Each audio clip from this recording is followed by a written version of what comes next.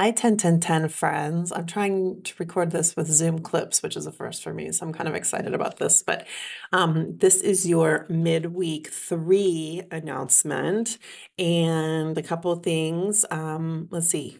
I've already forgotten. Oh, I know. This week you're working on icebreakers. Um, so it's always fun to see what other faculty are doing for icebreakers. Make sure to check that out. You are peer reviewing each other's home pages. So you got feedback from your homepage from us, and you'll be getting feedback from your team, your fruit groups. Um, this week. So you can take all that feedback, make the revisions that you want, and resubmit if you want to. Some of you um, are were marked incomplete, so some of you will be wanting to resubmit those. And then you're working on your orientation modules this week. I love an orientation module. Um, there's something that you wanted. To, there's the stuff that you wanted to put in home in your homepage, the stuff that you wanted to put in your welcome letter.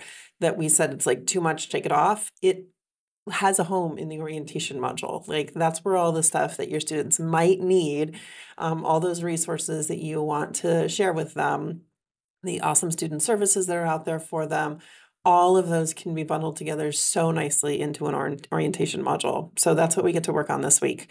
Um, according to Midpoint survey feedback, several of you asked for more on HTML and like making pretty Canvas pages and tabs and all that kind of stuff.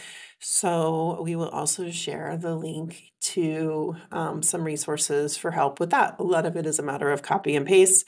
You don't have to know HTML. It's just a matter of knowing where to copy from. All right. So hopefully that helps. Oh, and office hours today at 2:30. So just in a couple hours with Julie. Bye everybody. I hope you're having a great week.